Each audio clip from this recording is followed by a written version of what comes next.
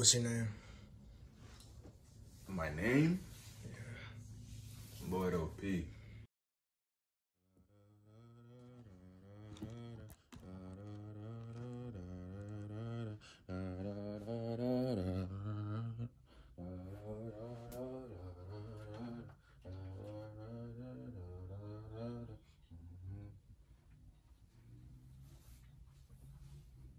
Hey, la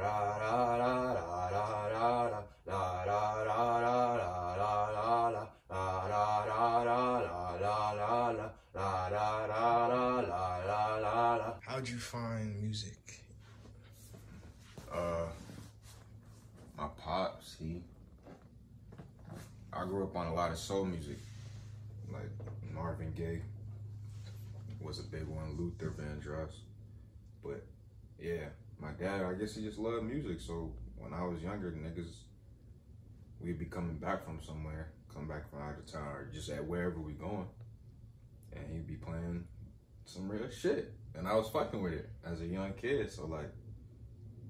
And then I was also, I was big as hell on Michael Jackson, like big, like that nigga was like, nigga, you know, that nigga was my icon. Like, I'm sure it was for like everybody, but I really feel like, like I felt like I was gonna be the next Michael Jackson on some shit. It was weird as hell, but I thought like I was obsessed with bro. And through that, like, I just always been fascinated.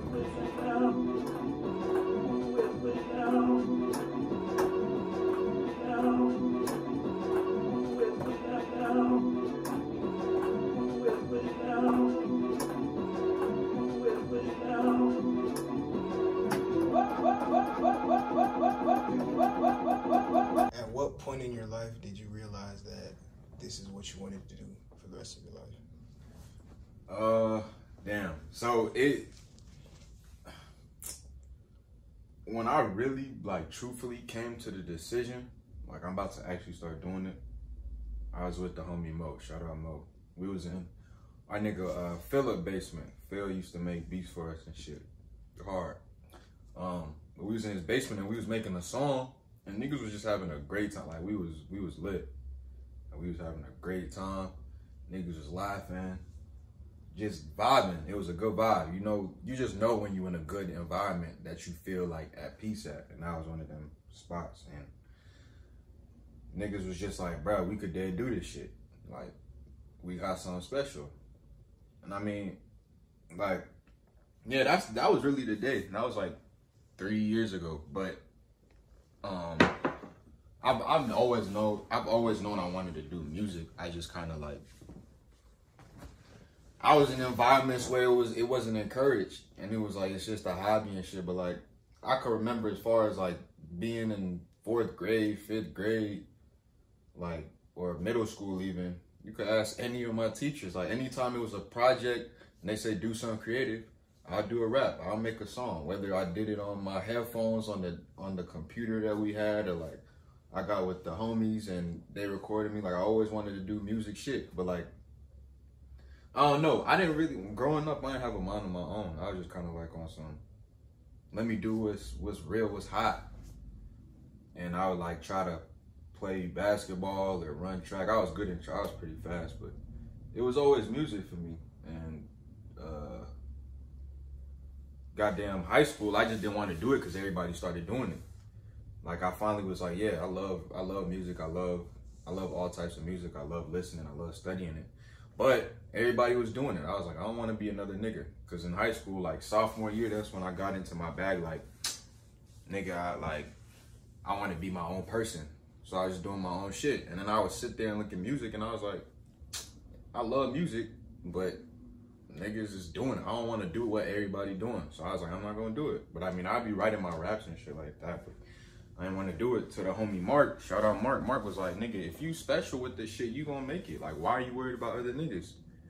As soon as he said that, it clicked. And that was around the same time me and Mo was in the studio. So like, that shit just all connected. What you want? Got the Joe. What you want? What you want? On the low. What you want? What's your style? Oh, baby, let me. Yeah. One thing I will say, like, I don't like I don't like giving out my sauce, even though it ain't really much to it. But when you're making, what, always, not even because I I do both, but most of the time try to improvise your hooks.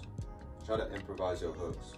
Um, I mean, I know a lot of people already like freestyle their whole songs and shit like that, but I don't do that. Chill, don't do that because you wanted to have more meaning, connect. That's the main goal of this music shit, man.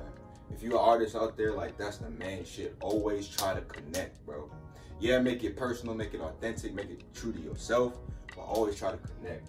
With that being said, the best way I connect is typically when I improvise my hooks. I ain't improvise this hook, but what I do do, immature as hell, doo doo. Fuck y'all niggas. It, what I do is like always is I always improvise the layering. With me, when it's not like if I do a, a, a regular hook, you know, uh yeah, bitch, uh uh uh, and then I got a little 16, blah blah blah, like I'ma listen to it and it may be a great composition of a song, but it be feeling empty and dry to me. Remember, like people's attention span is like that. People say now it's shorter, but it's really always been that way. It's just that every that this ain't no fucking philosophy lesson. What I'm trying to say is you want to make it interesting for the listener and you want to have fun with it. This is how I have my fun, bro. Like artistry, you know what I'm saying? So always try to improvise it, like the, the, the layering and shit. Just go along with the melody, make some shit up. If you feel something, record it, and then later you could goddamn delete, edit, do all that shit. But when you making the music, bro, just make the fucking music, my nigga. You feel me? That was long winded. Let me get back to this shit, bro. Where do you see yourself in the next year? Nigga, did you write questions in your notes? yeah. Uh, in the next year, Yeah. In the next year, I I have faith. Well, I believe wholeheartedly, but you can't. I've been big on like I don't know what to expect. I just do, and whatever happens, I move accordingly. But by the end of 2022, I expect to be um, a respected local artist at least. I'm I'm in no rush. I'm in no rush because I have a lot of shit to work on as an artist. There's a lot of shit I want to accomplish and perfect before I'm on a big scale. So by the end of by the end of 22 by the end of 2022 I plan to be like uh, a local a respected local artist like like where niggas in the cities like yo look out for that nigga Lloyd OP he he next he next up he coming like he really hard so I mean at this point right now this before the EP, this before the album, this before anything that I seriously. I've only I only have smoke out. That's like the only serious shit.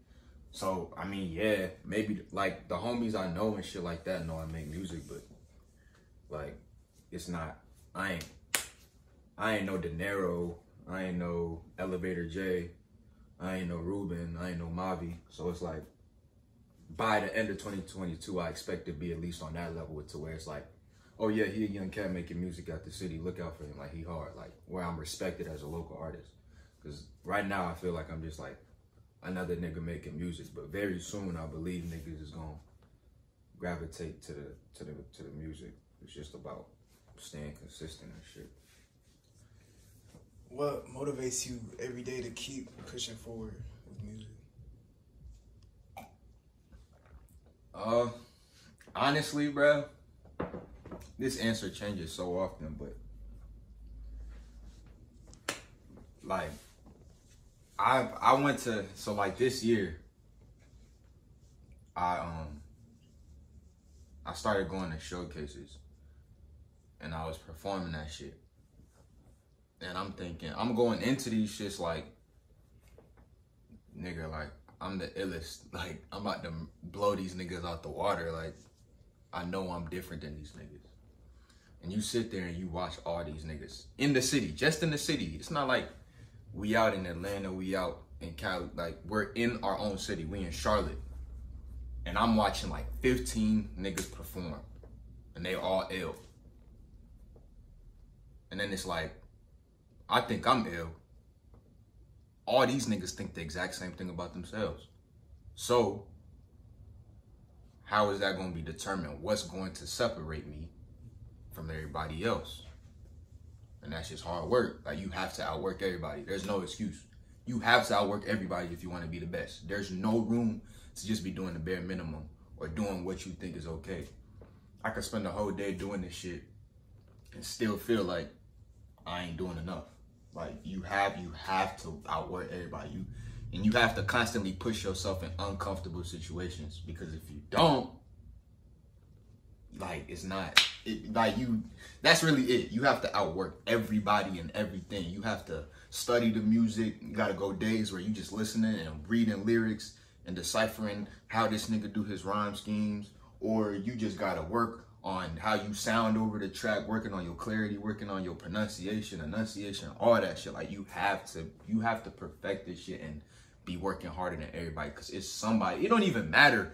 I could be a regular nigga. I got 30 monthly listeners on Spotify. It's a nigga with five trying to kill me with his raps right now. Like he trying to, and I'm doing, I'm trying to do the same thing to another nigga. So you have to. It's like when we used to go running, like all, all of us used to go running, I used to think this shit when we was running. It was weird shit. But basically, we all be running.